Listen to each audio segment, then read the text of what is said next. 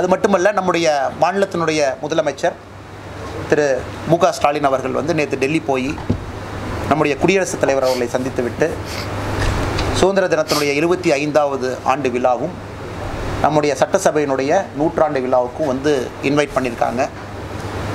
இது ரொம்ப அற்புதமான நெகிழ்ச்சியான ஒரு விஷயம். பாரதிய ஜனதா கட்சி வந்து இதை வரவேற்கிறது. நம்முடைய குடியரசுத் தலைவர் அவர்கள் தமிழ்நாட்டுக்கு வந்து நிச்சயமாக இந்த நூற்றாண்டு விழாவில் நிச்சயமாக இந்த எழுபத்தி ஐந்தாவது சுதந்திர தின விழாத்தில் பங்கு பெறணும் அப்படிங்கிற ஆசையும் எங்களுக்கு இருக்கிறது. அதை வரவேற்கின்றோம். நிச்சயமாக வருவாங்கிற நம்பிக்கை எங்களுக்கு இருக்குது சட்டப்பேரவை நிகழ்வு பல்லோக்கு மருத்துவமனையில மாற்றம் வந்து ஏற்கனவே வந்து ஓபிஎஸ் அவர்கள் எதிர்ப்பு தெரிவிச்சிருக்காங்க. அது மட்டும் இல்லாமல் ராமதாஸ் அவர்களும் எதிர்ப்பு தெரிவிச்சிருக்காங்க. நேற்று நடந்த நிகழ்வுல வந்து சட்டப்பேரவை நூற்றாண்டு விழா கலைஞர் பட திறப்பு விழா அதுக்கப்புறம் ஒரு அரசு பிரம்மாண்ட அரசு மருத்துவமனை விழா வந்து பிரசிடென்ட் அவர்களை வந்து மு க ஸ்டாலின் அவர்கள் அழைப்பு கொடுத்திருக்கிறாங்க இந்த பல்நோக்கு மருத்துவமனைக்கு மாற்றம் ஏற்பட்டால் பாஜகவுடைய நிலைப்பாடு என்னவாக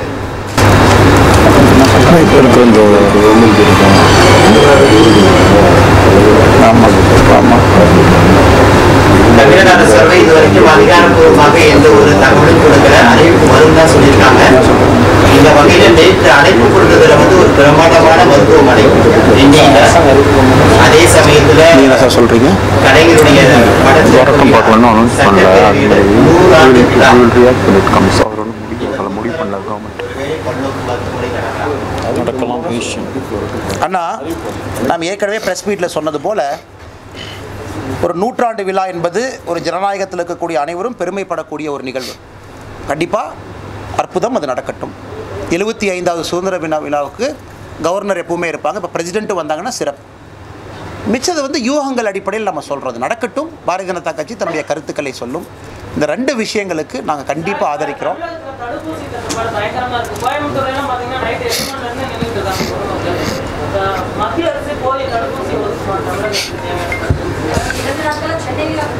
மேடம் அடுத்த பதினைந்து நாட்களுக்கு எவ்வளோ தடுப்பூசி வருங்கிற டேட்டா மத்திய அரசு சொல்லிட்டாங்க. மத்திய அரசு சொன்ன தடுப்பூசியில் ஒரு ஊசி குறைக்கல. நீங்கள் அதை ஒத்துக்கணும். ஏன்னா நீங்கள் மா சுகாதாரத்துறை செயலாளர்கிட்ட கேட்கலாம். நாம் ஃபிஃப்டீன் டேஸ்க்கு முன்னாடி சொல்லிடுறோம். அடுத்த பதினைந்து நாட்கள் இப்படி பிளான் பண்ணிக்கோங்க. கண்டிப்பாக தமிழ்நாட்டில் இருக்கக்கூடிய எட்டரை கோடி மக்களுக்கும் தடுப்பூசி வேகமாக போடணும். நாளை காலையிலே போட்டால் ரொம்ப சந்தோஷம். நிச்சயமாக நடக்கும். பட் நாமளும் புரிந்து கொள்ள வேண்டும். ஒன்றரை லட்சத்தில் ஒரு லட்சத்தில் ஆரம்பித்து ரெண்டு லட்சத்தை ரீச் பண்ணி சில நாள் ரெண்டு லட்சத்து எழுபதாயிரத்துக்குலாம் தொடரும் கெப்பாசிட்டி அதிகப்படுத்தி நம்ம தடுப்பூசி போகிறோம்னு நினைக்கிறோம். மையத்தை அதிகப்படுத்துகிறோம் மத்திய அரசை பொறுத்தவரை அவங்க சொன்ன டார்கெட் அது வந்து மத்திய சுகாதாரத்துறை செயலாளர் மாநில சுகாதாரத்துறை செயலாளர் அமைஞ்சு அந்த ஃபார்முலா படி வாங்கிக்கிறாங்க. அதில் ஒரு தடுப்பூசி கூட குறையல. நாம் ஏற்கனவே முந்தானத்து பேசினது போல் அறுபத்தி ஆறு கோடி தடுப்பூசி ஆர்டர் கொடுத்தாச்சு முப்பது கோடி ஹைதராபாத்தில் கொடுத்தாச்சு தொண்ணூற்றி ஆறு கோடி. It's a matter of time நிச்சயமாக வேகமாக வந்துக்கிட்டு இருக்கு. இதை வந்து மாநில அரசுக்கும் தெரியும். கண்டிப்பாக நான் அரசியலாக்க விரும்பலை. பட் மத்திய அரசு கமிட் பண்ண தடுப்பூசி தடுப்பூசியில் ஒரு தடுப்பூசி கூட குறையாம அந்த ஃபிஃப்டீன் டேஸ் சைக்கிளை மெயின்டைன் பண்ணுறாங்க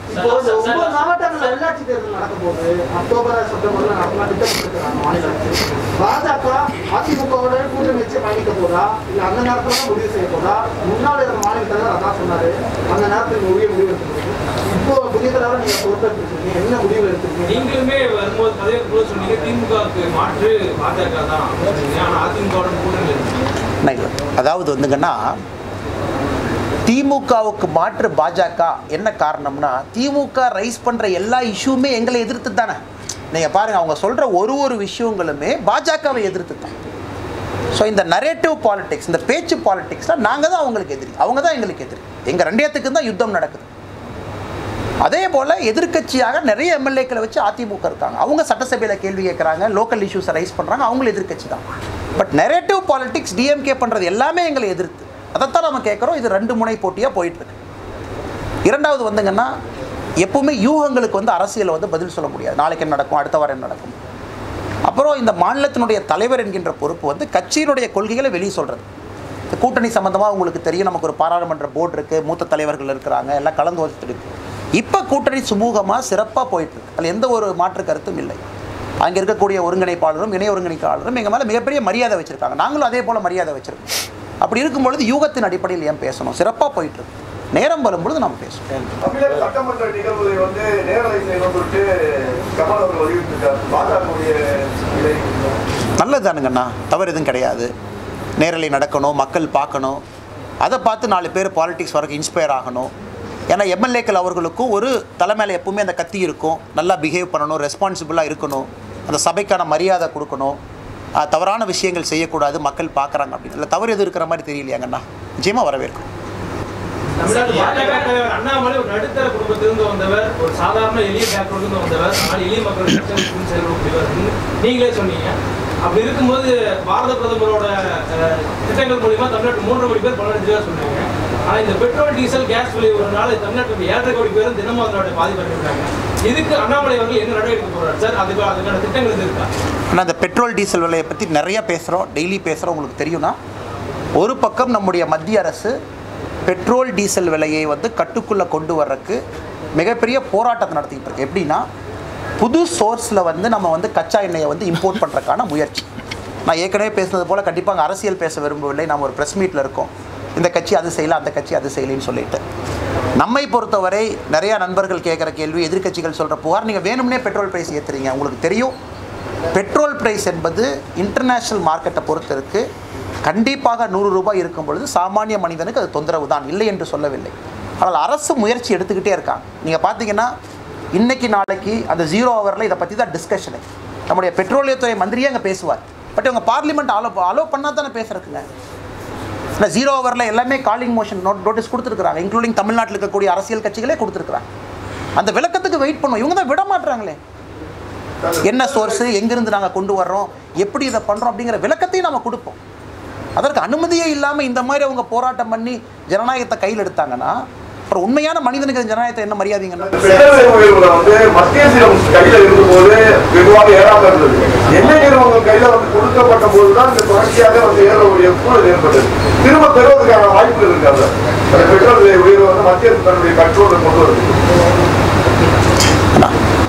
உங்களுக்கு தெரியுங்கன்னா இது வந்து நம்முடைய சிதம்பரம் அவர்கள் வந்து ஃபினான்ஸ் மினிஸ்டராக இருந்து ஹோம் மினிஸ்டர் ஃபினான்ஸ் மினிஸ்டராக இருந்து நாம் இந்த ஏழு வருடங்களாக இந்த ஆயில் மார்க்கெட்டிங் கம்பெனிஸ்க்கு நம்ம இந்த அதிகாரத்தை கொடுத்துருக்கோம்.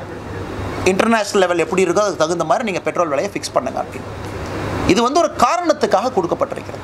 ஏன்னா காங்கிரஸ் ஆட்சியில் உங்களுக்கு தெரியும் ஏற்கனவே பேசினது போல் இந்த ஆயில் பாண்டு ஒரு லட்சத்தி நாற்பதாயிரம் கோடி ரூபாய்க்கு ஆயில் பாண்டை வாங்கி ஆர்டிஃபிஷியலாக பெட்ரோல் ப்ரைஸை குறைச்சி அந்த பாண்டுடைய கடனை நீங்களானே இப்போ கட்டிக்கிட்டு இருக்கோம்.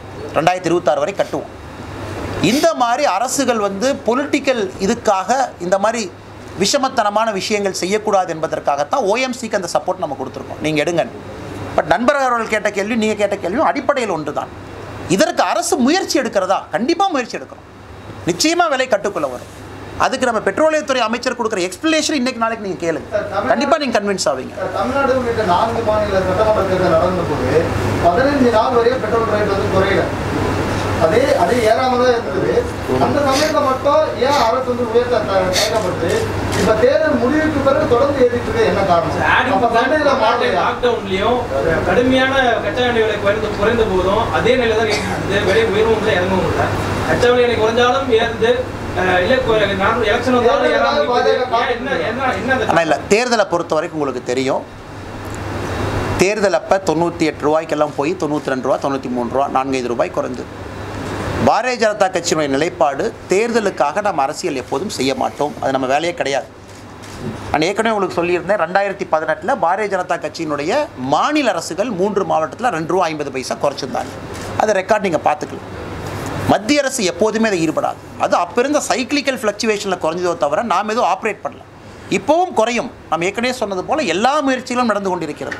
நீங்கள் தயவு செஞ்சு பெட்ரோலியத்துறை அமைச்சர் பேசுகிறத பாராளுமன்றத்தில் ஒரு வாய்ப்பு கொடுத்து கேளுங்க. கண்டிப்பாக குறைப்போம். அதில் எந்த ஒரு மாற்று கருத்தும் வேண்டாது. இது வந்து உண்மையாலும் நாங்கள் இதை கஷ்டப்படுறோமா? நிச்சயமாக பாரதிய ஜனதா கட்சி தமிழ்நாடை பொறுத்தவரை குறைச்சா நல்லா இருக்கும் குறைக்கணும் மக்களுக்கு இது நல்லது உடனடியாக நடக்கணும்னு நாங்களும் வேண்டிக்கிட்டு இருக்கோம். நடக்குது. ஆர்டிஃபிஷியலாக நம்ம எந்த வேலையும் செய்யலையே. உயரிய உயிரிய பதவி சரி. அதே மாதிரி தமிழிசை வந்து தாமரை யாத்திரை நடத்துறாங்க. ரெண்டாவது தெலுங்கு வந்து வேலை யாத்திரை ஆனால் எந்த யாத்திரை இல்லை. எ- நம்மளாம் இதே பதவியில் தான் இருப்போம். எனக்கு பக்கத்தில் உட்காந்துருக்கிறவங்க வெளியே இருக்கிற சில தலைவர்கள் வந்து அதுக்கு முன்னாடியே உயரிய பதவிக்கு போயிடுவாங்க நீங்கள் பொறுத்து வந்து பார்த்துட்டு இருங்க. நல்லது நடக்கும் அண்ணா. தேங்க்யூ தேங்க்யூ அண்ணா. எப்படி குரங்கு தன்னோட குட்டியை அனுப்பி வேவு பார்க்குமோ அதுபோல் ஆர்எஸ்எஸ் தன்னுடைய தினமலரை அனுப்பி இங்கே ஆழம் பார்க்குது அப்படின்னு தான் சொல்லணும். தமிழ்நாட்டை யாராலையும் பிரிக்க முடியாது. தமிழர்கள் எல்லோரும் ஒரே உணர்வால் ஒற்றை உணர்வால் இணைஞ்சிருக்காங்க அப்படின்னா அதுக்கு காரணம் தமிழ் என்கிற மொழி தமிழ் என்கிற இனம். அதை யாராலும் யாராலையும் டிஸ்டர்ப் பண்ண முடியாது. எந்த காரணத்துக்காகவும். ஏதோ ஒரு சில வாக்குகள் அதிகமாக அந்த கட்சி பெற்றுடுச்சு பாரதிய ஜனதா கட்சி.